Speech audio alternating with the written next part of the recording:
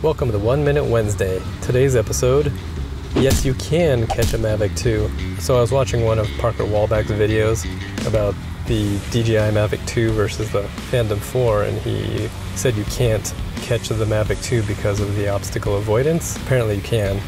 All you have to do, press down on left joystick so the drone will come down into your hand. So just bring up your hand as the drone is coming down and then grab the drone and twist it sideways and it will turn off.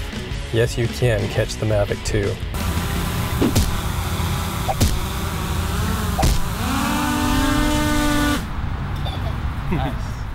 I don't know how useful that advice is, but that's this week's episode. Please be sure to share, subscribe, and like for more videos like this.